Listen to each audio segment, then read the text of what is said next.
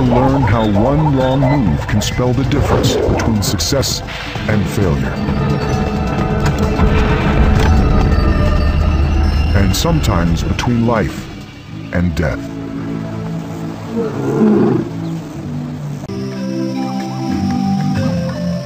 On the hot, dry plains of Namibia's Etosha National Park, a filmmaker pursues a lifelong dream. Paul Van Schalkwyk is making his first wildlife film. No one with a normal brain function will go out and do this. You have to be half crazy. Back in Windhoek, Namibia's capital, Paul is a celebrated cinematographer. But he's decided to put his more comfortable life on hold to fulfill a desire to make natural history films.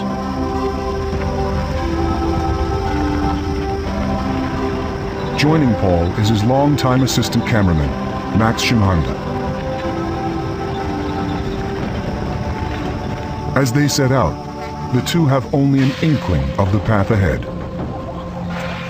But they are about to meet their greatest challenge as filmmakers, chronicling the lives of three notorious lions.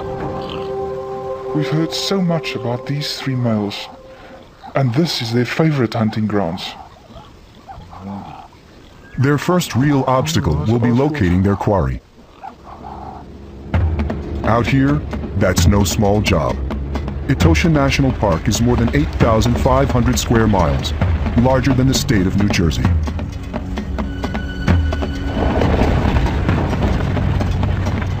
For now, they scour the plains daily. These three lions were notorious for driving off other males and killing big rhinos. We wanted not only to document their behavior, but also to capture them in action. After days of searching, Max climbs to a higher perch to observe a seasonal waterhole. Finally, hmm. there they are. One of the three males and a female companion.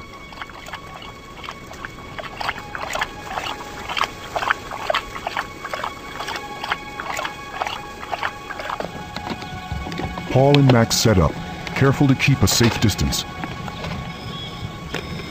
The three males watch over a pride of three females and their four offspring.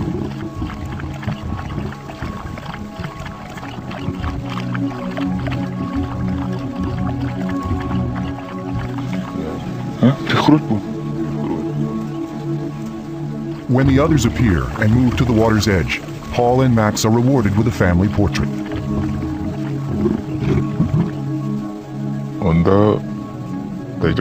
At first, I was afraid of them, but eventually we became used to each other. We became like brothers. Now, Paul and Max can finally get down to work, filming the life of these 10 lions.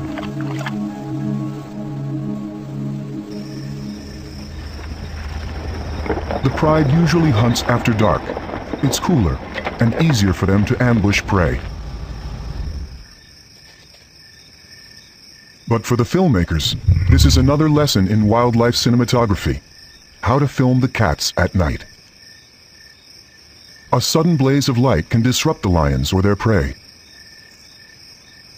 But without much light, the filmmakers themselves are in the dark.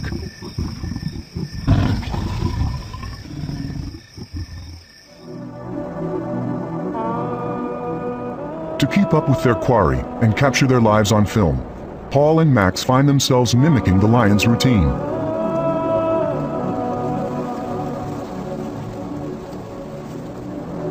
Like the pride, they chase their prey by night and rest by day.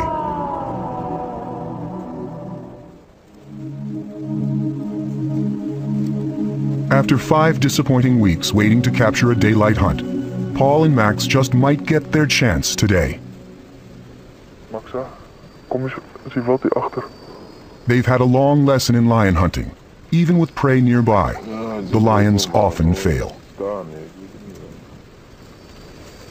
If these lions stay just where they are, they might get a meal today because the wind is blowing perfect for them. Lions don't consider the wind, and their smell gives them away. That's one of the important reasons their hunts are often so unsuccessful.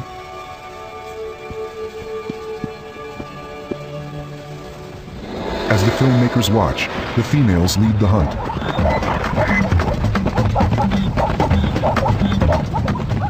A lioness singles out a zebra foal and its mother.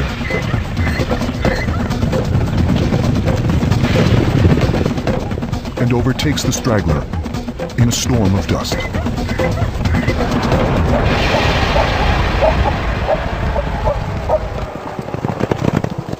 The distraught mare escapes the trap, but pays a high price the loss of her only foal. The three males wrestle over the tiny zebra kill. It will not sate their hunger long. In lion life, it's the males. We have to protect the pride and their territory. The females serve only as chief providers, even if they themselves sometimes go hungry. It's this arrangement that has allowed the species to survive for hundreds of thousands of years.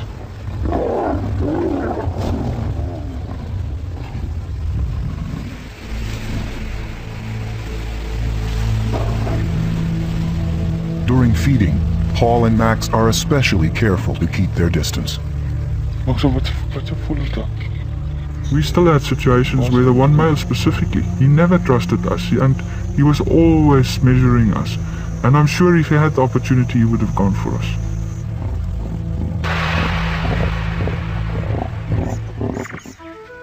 With temperatures hovering at 110 Fahrenheit, once generous ponds shrink to muddy swamp holes. Even with water in short supply, when the lions need to drink, they get plenty of elbow room.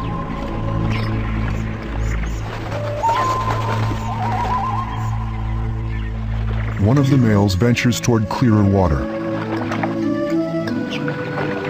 Then, he steps on something. We delighted at his antics. He was fishing for a small snack. I think a frog or terrapin perhaps. But the irony didn't escape us. This was the first opportunity to film either of these notorious males on a hunt. When hot winds blow the dust into storm clouds, the lions nearly disappear into the landscape. But the weather is the least of Paul and Max's worries. Today, the Land Rover has broken down. Okay. Here, they face the type of dilemma that separates wildlife filmmakers from the rest of humanity. They will have to tow the rover themselves. They hitch it to another rover. Max will steer the broken truck while Paul drives the Landy. The caravan leaves the park safely. Then suddenly, disaster. A tire blows. Both vehicles careen out of control, then flip.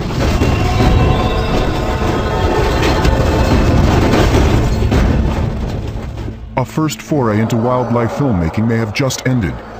The lion film is on hold indefinitely. Max fares better, but Paul has broken his back. En dis is. Papa? Sy terug sy. He spends six weeks on his back in bed. Vat hy weer 2 sekondes. Wat 2 en 2 is? Mijn mocht klank goed. Wat klank goed? Then, he faces many more months of grueling rehabilitation.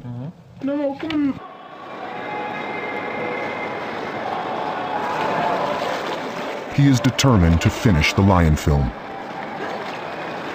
And so is Max.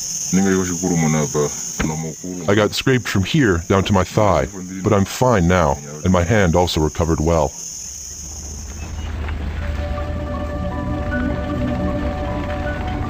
Seven months after the accident, Paul and Max finally make it back to Etosha. Only to learn the pride has disbanded and the males are gone.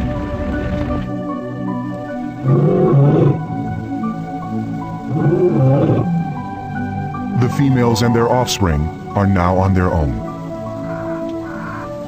For Paul and Max, the news means a difficult search. Okay, go nou wil ek kry. Then they get a break. Rangers spot the males 50 miles east in an area known as Rietfontein.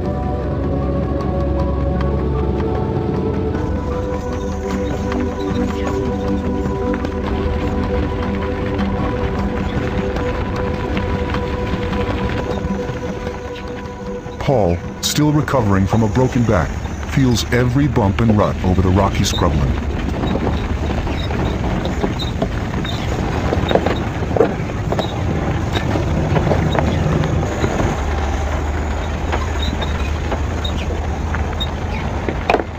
Even if their search is successful, they may need to spend valuable time reintroducing themselves to the lion trio.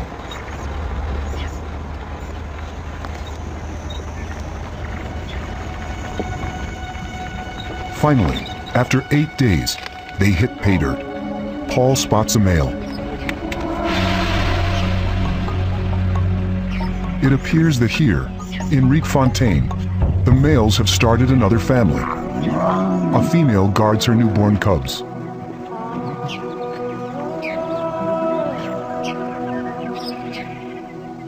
She's extremely protective.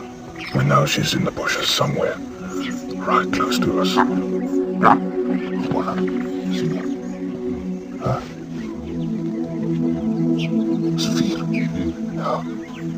The lioness refuses to let the cubs play in open view, unless one of the males is nearby. Hopes of cementing a quick bond with the pride begin to wane. Still, the cubs seek out room to play. But they were curious, and they came closer and closer to us. We knew we could get ourselves in big trouble with the mother if they came too close.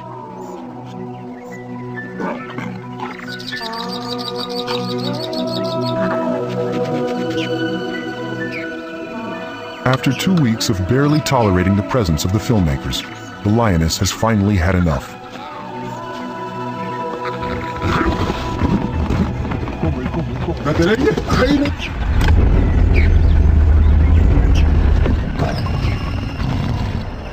She has made her point.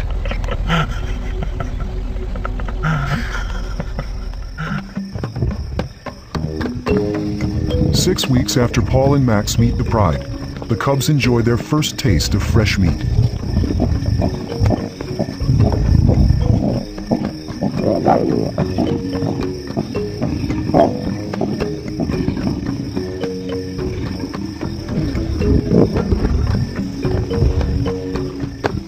Time, they're squabbling over the carcass just like their elders.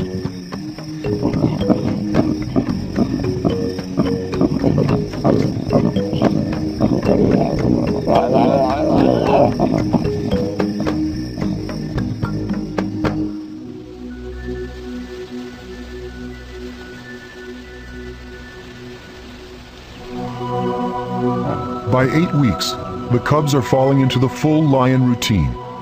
Gorge by night, relax by day.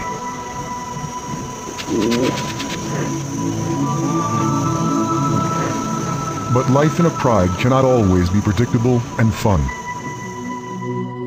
Just a few weeks later, the cub's mother finds herself alone, even though the males are nearby enjoying a kill.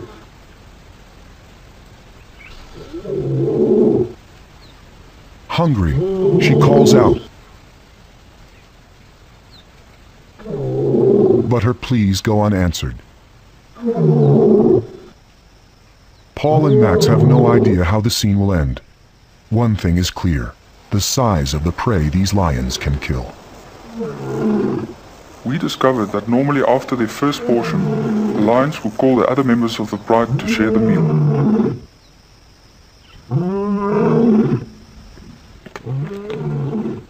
But the males ignore the mother and her cubs.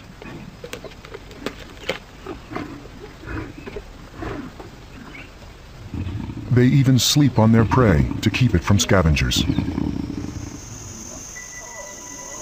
As day turns to night, the mother still awaits a call that will never come. She may have to hunt for herself. The mother just got up with the other lionesses of the pride and she went on a hunt and for the first time ever she left the, the cubs in our presence. Weeks with Paul and Max just a few feet away seem to have helped put the mother's fears to rest.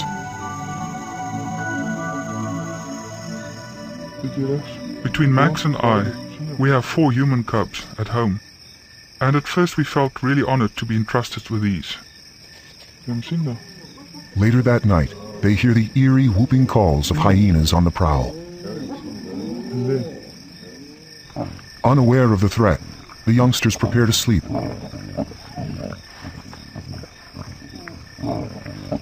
We stayed awake all night, worried about our new charges.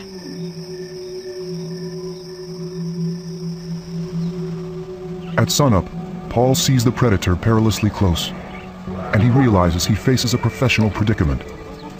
Now emotionally attached to the lions, he also has a duty not to alter their fate.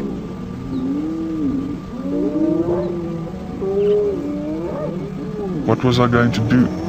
Was I going to chase them away? Or was I going to film the murder of four cute little lion cubs?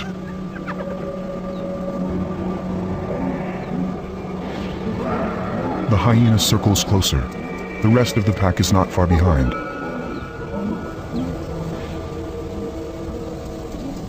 The cub's isolation seems complete. But then, Out of the blue, the most beautiful creature in the world just walked into view. It was the lioness. The cubs were simply overjoyed. You could see that in their whole behavior.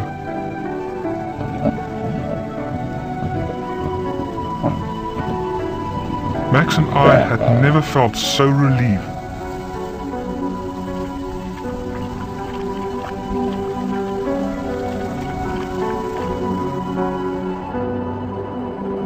With the advent of the rainy season, Springbok passed through the lion's territory.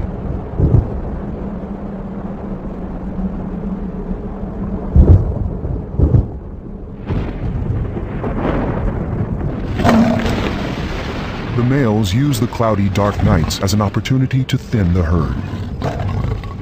The filmmakers are amazed as they watch Springbok disappear, literally. They devoured an entire springbok in six minutes flat. What remained of the springbok at the end of the night was only its horns, its skull, and a few pieces of spine.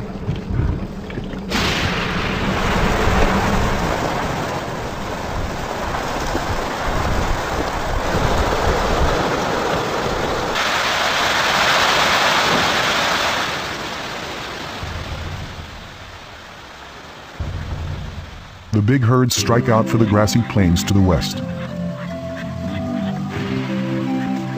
Traveling day and night, the three males follow. But then, Paul and Max realize the lions aren't trailing the herds at all. We extended that line on the GPS and it took us directly from Rietfontein to Okandeka. The shortest distance, these guys were walking on an invisible line with invisible compasses and they stuck to it to get to Okandeka as quickly as possible. Leaving their new pride behind, the park's most infamous lions are returning to their former territory. With Paul and Max close behind, they trek the 50 miles in two long days. Once on familiar turf, they snatch their first meals since leaving Rietfontein.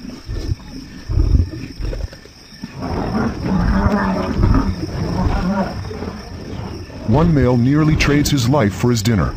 As he tries to dig in, he's rewarded with repeated kicks to the head.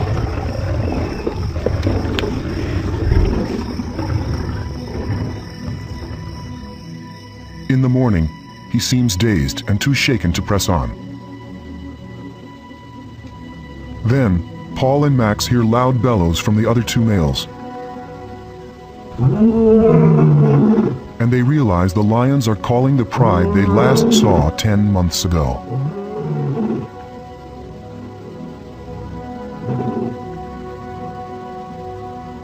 The two leave their injured brother behind and resume their search for their former mates. We knew that the pride wasn't far away. Then the lion started to walk with a sense of urgency. I just knew that something was going to happen. Paul does not have long to wait. Soon, the lions encounter two young males lounging in a clearing. They exchange growls.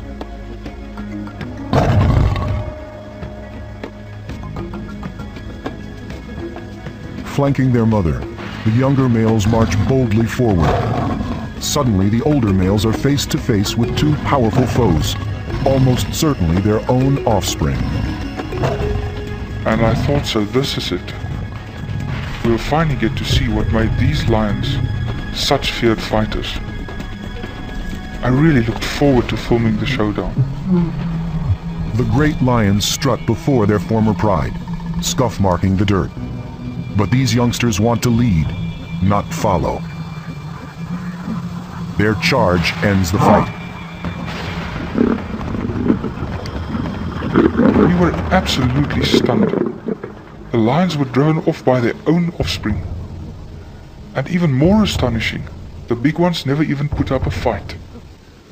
In an apparent victory celebration, the bold young lions affirm their bond to their mother. They have deposed the rulers of the plains. The two males seek out their brother. Rejected by the pride and getting on in years, the three now face an uncertain future. But for now, at least, they have one another. We went out to capture the, the big moments, the dramatic hunts, the fierce confrontations.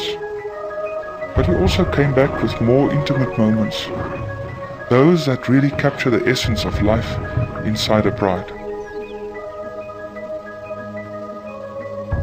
Most people only get to see wild animals on television, and I know they're grateful to the filmmakers who take the pictures. They wish us long lives to continue our good work. After two years and 13,000 miles, Max Shimhanda and Paul Van have earned their stripes as wildlife filmmakers. They've illuminated our understanding of male lions and their prides.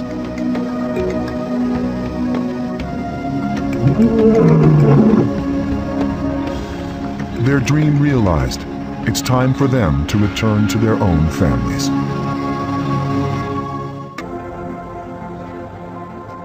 But he's decided to put his more comfortable life on hold to fulfill a desire to make natural history films.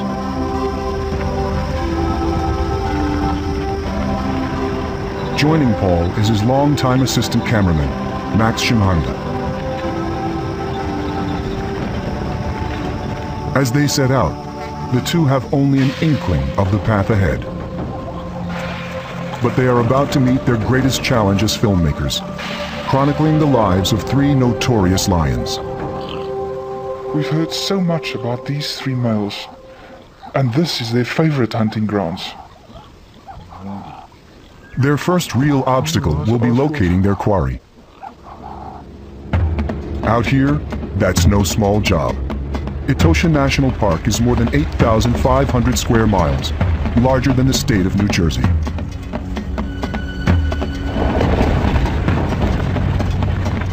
For now, they scour the plains daily. These three lions were notorious for driving off other males and killing big rhinos. We wanted not only to document their behavior, but also to capture them in action. After days of searching, Max climbs to a higher perch to observe a seasonal waterhole. Basel, zie je? Finally, there they are, Kijk wat zien one of the three males and a female companion.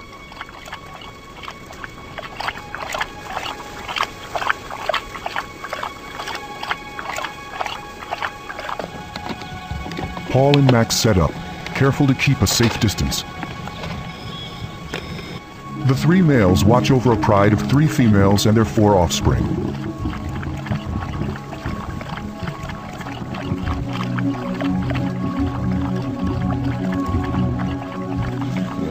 Huh? De grootboom. When the others appear and move to the water's edge, Paul and Max are rewarded with a family portrait.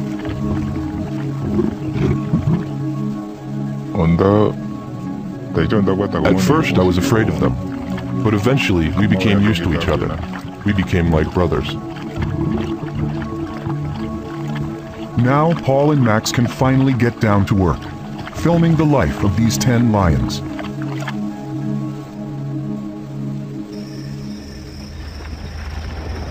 The pride usually hunts after dark. It's cooler and easier for them to ambush prey.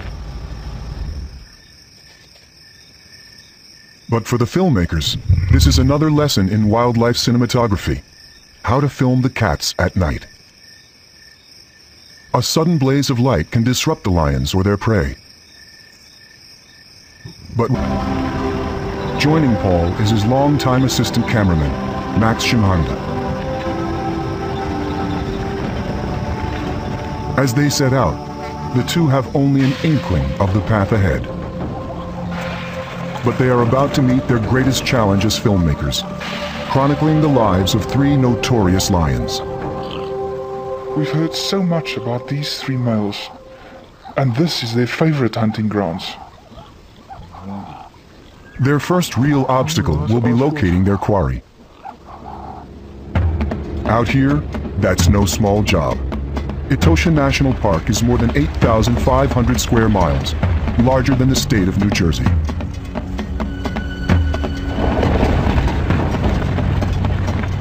For now, they scour the plains daily.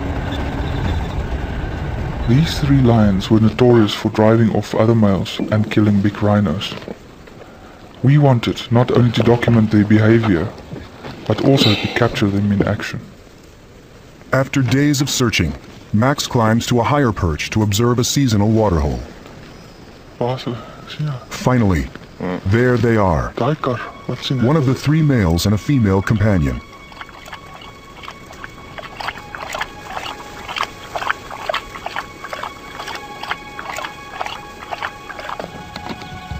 Paul and Max set up, careful to keep a safe distance.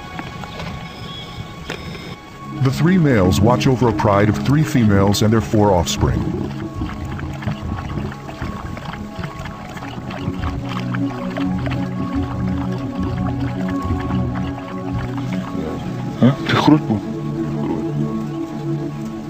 When the others appear and move to the water's edge, Paul and Max are rewarded with a family portrait. Uh, At first, I was afraid of them. But eventually, we became used to each other. We became like brothers. Now, Paul and Max can finally get down to work, filming the life of these 10 lions.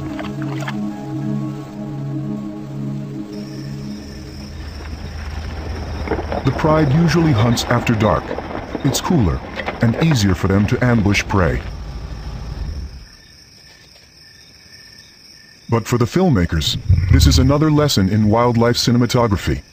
How to film the cats at night. A sudden blaze of light can disrupt the lions or their prey. But without much light, the filmmakers themselves are in the dark.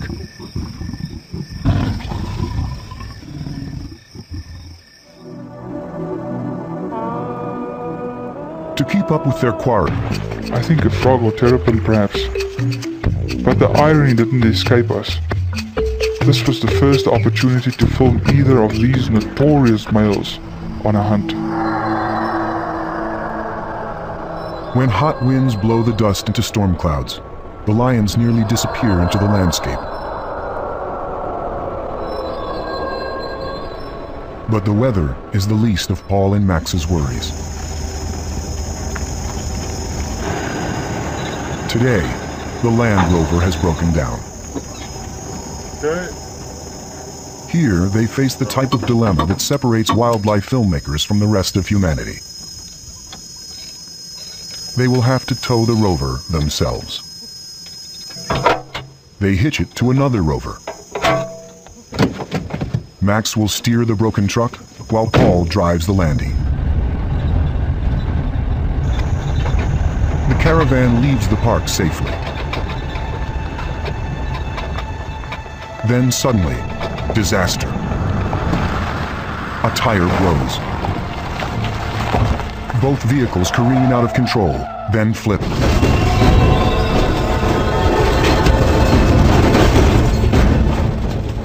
A first foray into wildlife filmmaking may have just ended. The lion film is on hold indefinitely. Max fares better, but Paul has broken his back. Papa. Wat? Sy terug sy. He spends six weeks on his back in bed. Vat hy weer 2 sekondes.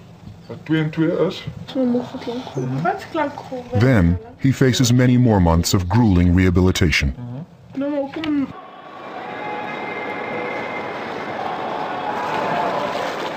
He is determined to finish the lion film. And so is Max. I got scraped from here down to my thigh, but I'm fine now, and my hand also recovered well.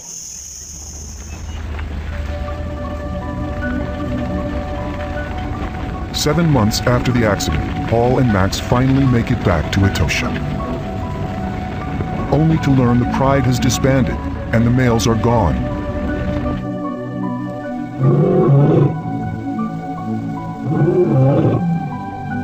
The females and their offspring are now on their own. For Paul and Max, the news means a difficult search. Okay, go and have a look around. Then they get a break. Rangers spot the males 50 miles east in an area known as Rietfontein.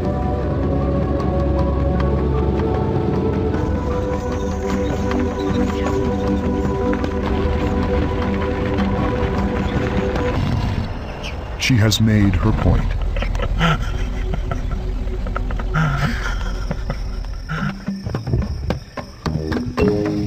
Six weeks after Paul and Max meet the pride, the cubs enjoy their first taste of fresh meat.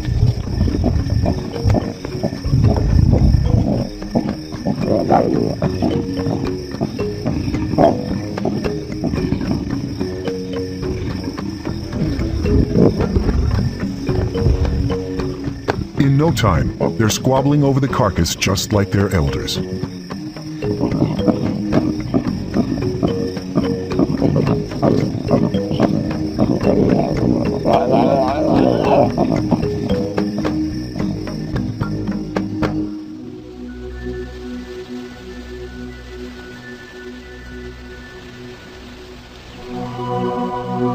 By eight weeks, the cubs are falling into the full lion routine. Gorge by night, relax by day.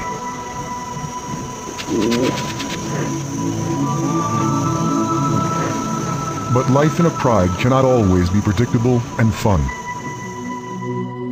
Just a few weeks later, the cub's mother finds herself alone, even though the males are nearby enjoying a kill.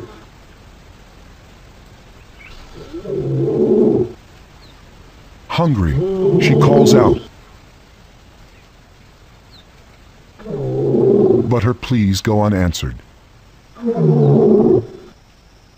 Paul and Max have no idea how the scene will end. One thing is clear the size of the prey these lions can kill.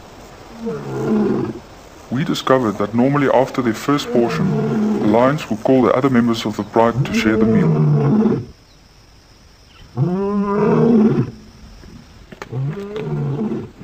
But the males ignore the mother and her cubs.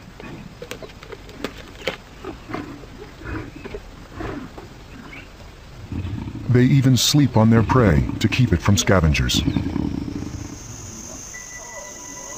As day turns to night, the mother still awaits a call that will never come.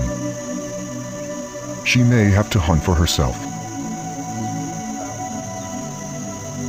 The mother just got up with the other lionesses of the pride and she went on a hunt and for the first time ever she left the, the cubs in our presence. Weeks with Paul and Max just a few feet away seem to have helped put the mother's fears to rest. Between Max and I, we have four human cubs at home. And at first we felt really honored to be entrusted with these. Later that night, they hear the eerie whooping calls of hyenas on the prowl. Go out and do this. You have to be half crazy. Back in Windhoek, Namibia's capital, Paul is a celebrated cinematographer. But he's decided to put his more comfortable life on hold to fulfill a desire to make natural history films.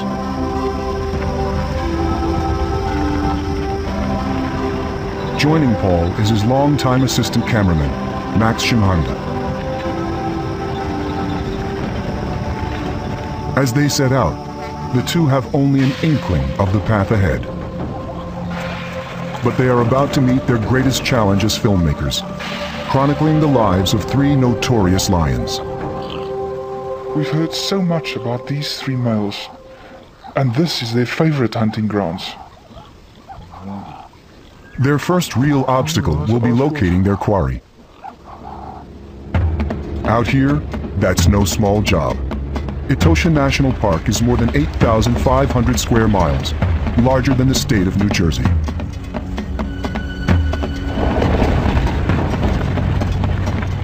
For now, they scour the plains daily. These three lions were notorious for driving off other males and killing big rhinos. We wanted not only to document their behavior, but also to capture them in action. After days of searching, Max climbs to a higher perch to observe a seasonal waterhole.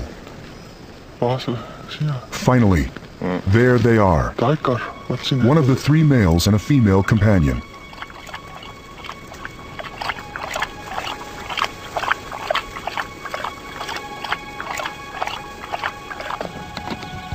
Paul and Max set up, careful to keep a safe distance. The three males watch over a pride of three females and their four offspring.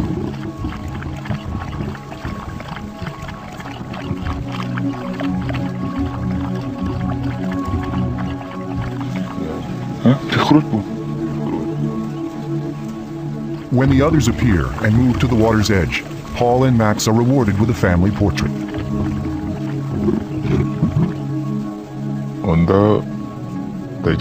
At first, I was afraid of them, but eventually we became used to each other. We became like brothers. Now, Paul and Max can finally get down to work, filming the life of these 10 lions.